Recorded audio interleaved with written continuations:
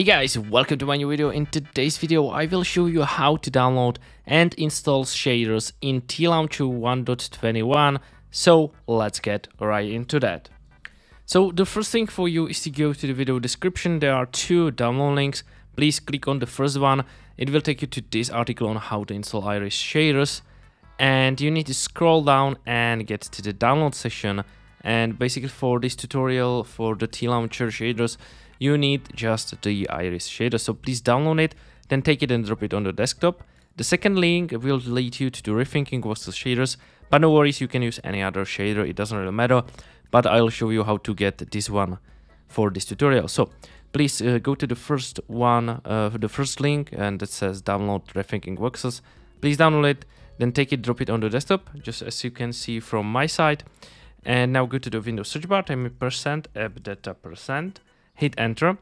This will open up the roaming folder for us and in here go to the .minecraft, scroll down until you find shader packs. So where is it? Here it is, okay? Now take the rethinking voxels shaders and drop it in here.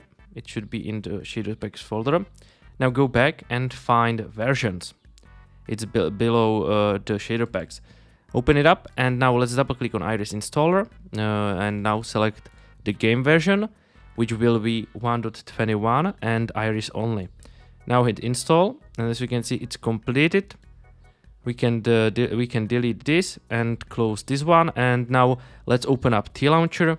Unfortunately, I don't have TLauncher right now, but it doesn't really matter. Just open up TLauncher just as I open Minecraft Launcher. No worries, I will tell you what to do in TLauncher. So once TLauncher is launched, you will see the little window and you need to select the correct version.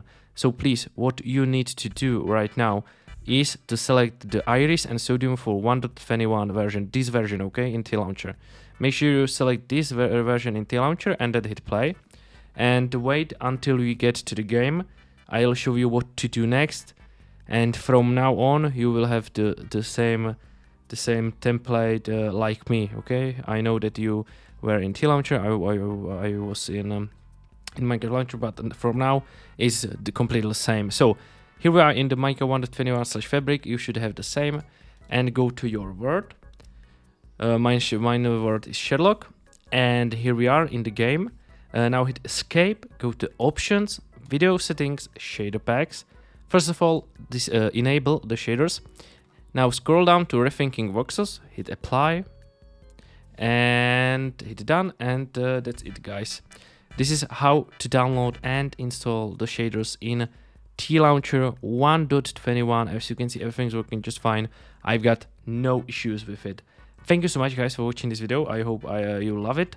In case you do, please make sure you subscribe to my channel, like this video, and if you've got any issues, just let me know down in the comments and I'll help you with anything.